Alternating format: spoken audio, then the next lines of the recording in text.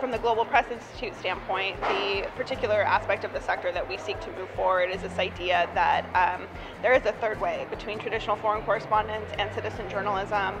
that can break down a lot of barriers that both platforms create to produce the highest caliber international news content possible, but also do it in a way that um, makes good business sense. So they're fulfilling a social mission, but also the real understanding the real reality that you can't create optimum social change if your business is not sustainable.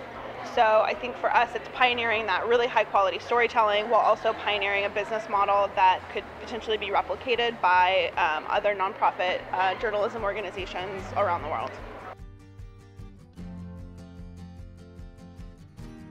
Media in particular, Ashoka Fellows have a luxury that a lot of other media practitioners don't have. I mean, I consider GPI, for example, to be almost like a utopian media environment. We don't have advertisers, we don't have corporate influence, we don't have uh, donors that control our content, we don't dictate or assign stories from afar, so it's, it's really just this opportunity to experiment with this next phase of media in a way that is not bound by the traditional limitations of mainstream media. So I think Ashoka Fellows in particular have a responsibility to continue to push the envelope, to take storytelling or cybersecurity or whatever particular aspect of media you're working in to the next level.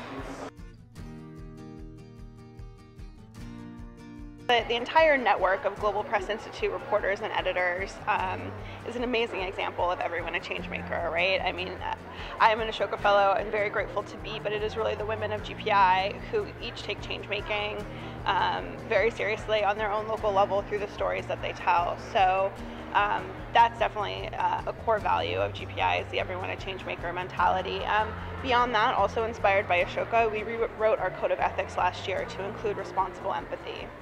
and um, the theory being that journalists, um, more than almost any other profession, have a responsibility to be responsibly empathetic in the work that they're doing. They're not just, when you extract someone's story, a human story, uh, you have a responsibility to do that with empathy, balanced, of course, with bias and objectivity and all these other core journalistic um, strategies and thoughts that, that we prioritize. But um, this idea of empathy and responsible empathy is something that now really fuels all of our work and all of the trainings that we're doing around the world.